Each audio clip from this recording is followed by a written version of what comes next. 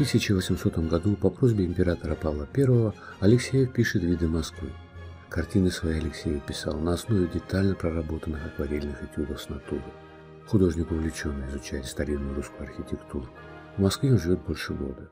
Здесь он создал ряд картин и множество акварелей с видами московских улиц, монастырей, предместий, но главным образом разнообразные изображения Кремля. Образ сказочного святого русского города поразил людей. Московские работы привлекли к Алексееву огромное количество заказчиков, среди которых оказались знатнейшие вельможи и члены императорской семьи.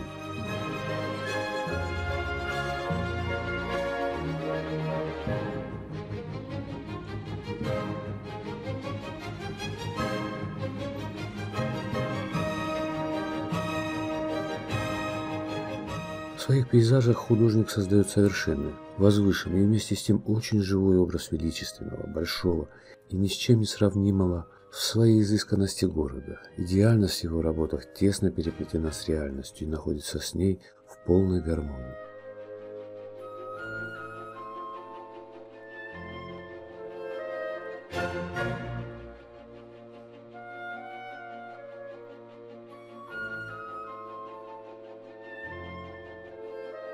Картина «Иллюминация соборной площади» в честь коронации императора Александра I написана Федором Алексеевичем в 1802 году.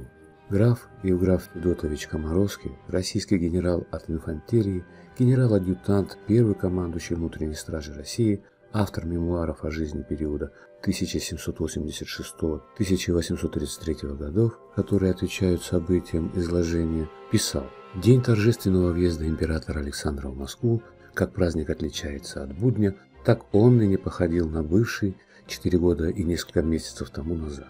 Тогда все чиновники, военные и статские, в карикатурных своих мундирах ехали по два в ряд, младшие впереди, что составляло предлинную линию в виде протянутой веревки. Император Павел ехал один, и несколько позади два великие князя.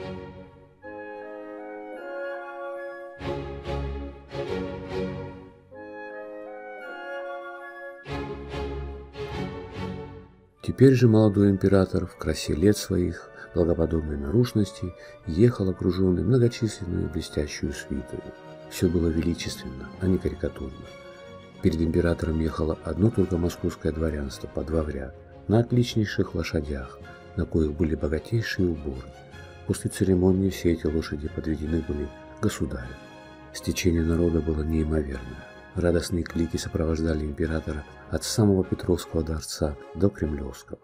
Дома украшены были разными дорогими тканями. Дамы во всех окошках приветствовали вожделенного гостя, махая белыми платками своими, развивающимися по воздуху.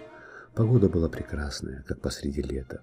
Я в жизнь мою ничего не видывал ни торжественнее, ни восхитительнее сего достопамятного дня.